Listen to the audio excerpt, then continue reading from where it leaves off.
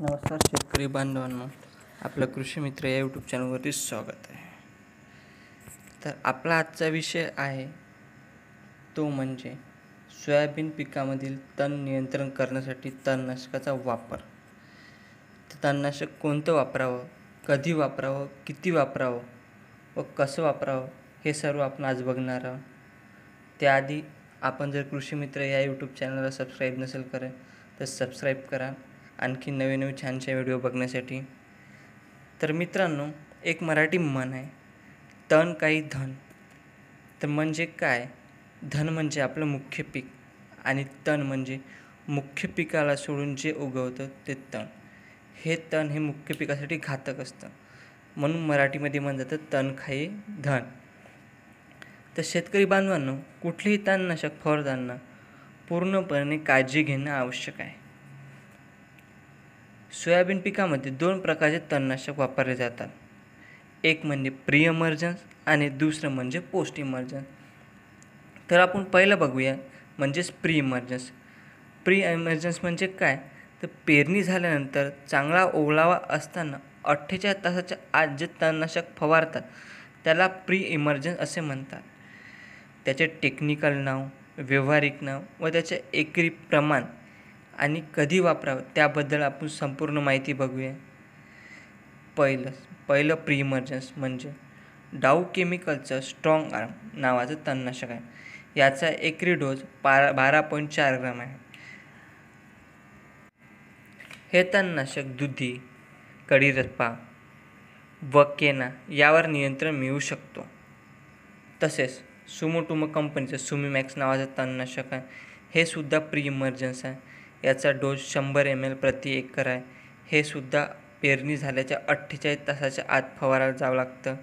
त्यानंतर रॅलीचं पनिडा ग्रँडेड म्हणजे पेंडामेथ्रिन याचा डोस प्रति एकर सातशे एम एल आहे.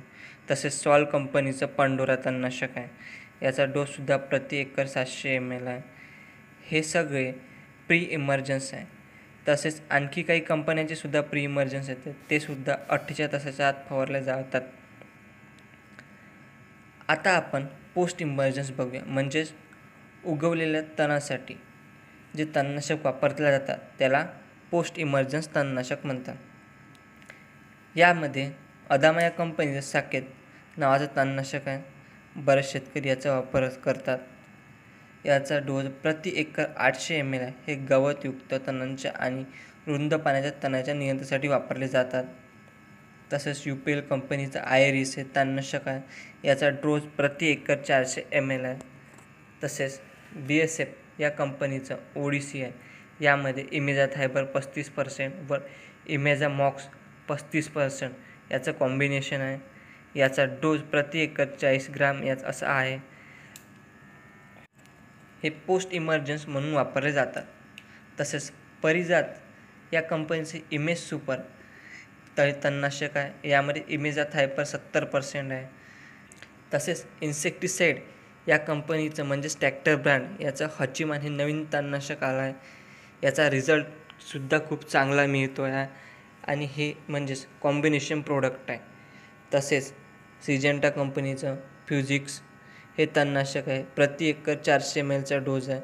याने रुंद पान व अरुंद पानावर नियंत्रण मिळवले जाते.